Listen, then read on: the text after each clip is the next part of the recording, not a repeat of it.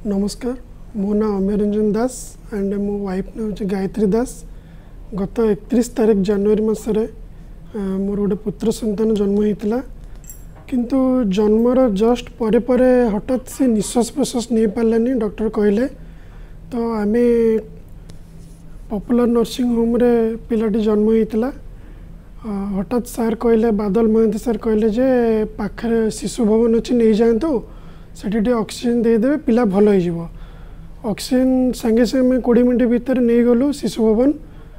Oxygen just ନେଇଛି ତ ତା'ର ସାଚୁରେସନ୍ ଶହେ ଆସିଥିଲା କିନ୍ତୁ ପୁଣି ଫଲ୍ କରିବାକୁ ଲାଗିଲା। ତ ସା- ସେଠୁ ଆମେ ଡାଇରେକ୍ଟ ସାର୍ଙ୍କ ସହିତ କଣ୍ଟାକ୍ଟ କରିଥିଲୁ ଜଣେ ପେଡ଼ିଟିକ୍ ସାର୍ଙ୍କ ସହିତ ଡକ୍ଟର ଦେବାଶିଷ ବେହେରା। ସିଏ କହିଲେ ଯେ ଦ ଚାଇଲ୍ଡ ବୋଲି ଗୋଟେ ଅଛି କ୍ଲିନିକ୍ ଅଛି ସେଇଠିକି ନେଇଯାଆନ୍ତୁ। ତ ଆମେ ସାଙ୍ଗେ ସାଙ୍ଗେ ସେଇଠିକି ନେଇଗଲୁ ଆଇସିୟୁରେ ରଖିଲୁ। ପ୍ରଥମ ଦିନ ଠିକ୍ଠାକ୍ ଚାଲିଲା। ପ୍ରଥମ ଦିନ ସି ପାଇପ୍ରେ ରଖିଥିଲେ। ତାପରେ କହିଲେ ପିଲାର କଣ୍ଡିସନ୍ ଖରାପ ଅଛି।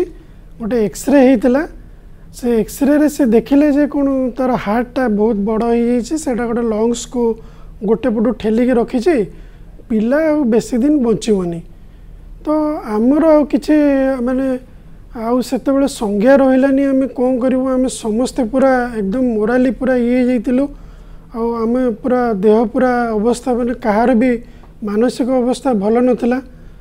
ହଠାତ୍ ଲାଷ୍ଟ ଦିନ ଏମିତି ଡିସ୍କସନ୍ କରୁ କରୁ ହଠାତ୍ ଆମ ମନକୁ ଆସିଲା ନାଇଁ ଏଠି ଆଉ ରଖିବାନି।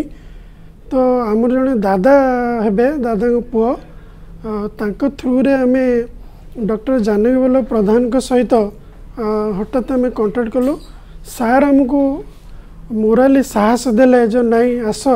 ପିଲାର କ'ଣ ହେଇଛି ଆମେ ଆଗେ ଦେଖିବା ପିଲାଟି ସାଢ଼େ ତିନି କେଜି ହେଇଥିଲା ଅ, ତଥାପି ସେମାନେ ଆମକୁ ଡା- ମାନେ ଅ, ଏତେ ଇଏ କରୁଥିଲେ ଯେ ବାଟରେ ନେଲେ ପିଲା ଦେହ ଖରାପ ହେଇଯିବ ସିରିୟସ୍ ହେଇଯିବ ଆଉ ବଞ୍ଚିବନି ଇଏ ହେଇଯିବ ଏଠି କେହି ଡାକ୍ତର ନାହାନ୍ତି କାର୍ଡ଼ିଓଲୋଜି କେହି ନାହାନ୍ତି ୟାର କଞ୍ଜେଷ୍ଟିଭ୍ ହାର୍ଟ ଡିଜିଜ୍ ଅଛି ବୋଲି କହିଦେଲେ ତ ଆମେ ଏତେ ବ୍ୟସ୍ତ ଭିତରେ ଥାଇକି ମଧ୍ୟ ସାର୍ଙ୍କର ଯେଉଁ ଆଶୀର୍ବାଦ କୃପା ଜାନକୀ ସାର୍ଙ୍କର ସେଥିଯୋଗୁଁ ଆମେ ସାହସ କରି ଆମ୍ବୁଲାନ୍ସରେ ନେଇଗଲୁ।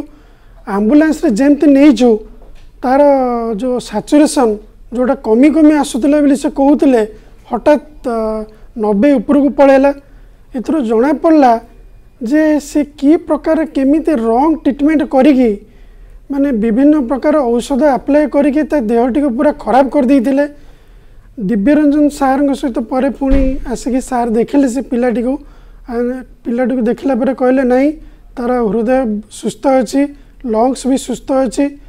ଆଉ ଜାନକୀ ସାର୍ଙ୍କୁ ମୁଁ ଗୁରୁ ବୋଲି ମାନେ ପ୍ରତିଦିନ ସକାଳୁ ଆସିଲେ ମୁଁ ତାଙ୍କୁ ନମସ୍କାର କରିକି ଆସେ ଯେ ନାହିଁ ସାର୍ଙ୍କର ଭଗବାନ ଭଳିଆ ସେ ଆସିକି ମୋ ପୁଅକୁ ବଞ୍ଚେଇ ଦେଲେ। ଆଜି ମୋ ପୁଅ ପୁରା ସୁସ୍ଥ ଅଛି। ତେଣୁ ସାର୍କୁ ସବୁବେଳ ପାଇଁ ମାନେ ବଞ୍ଚିଥିଲା ପର୍ଯ୍ୟନ୍ତ ମୁଁ ତାଙ୍କୁ ଗୁରୁ ବୋଲି ମାନିବି। ଆଉ କୋଟି କୋଟି ଧନ୍ୟବାଦ ସାର୍ଙ୍କୁ। ଉଭୟ ଦିବ୍ୟରଞ୍ଜନ ସାର୍ଙ୍କୁ ଚିତ୍ତରଞ୍ଜନ ସାର୍ଙ୍କୁ ଏବଂ ଜାନକୀ ସାର୍ଙ୍କୁ ସବୁବେଳ ପାଇଁ କୃତଜ୍ଞତା ମୋର ଅର୍ପଣ କରୁଛି।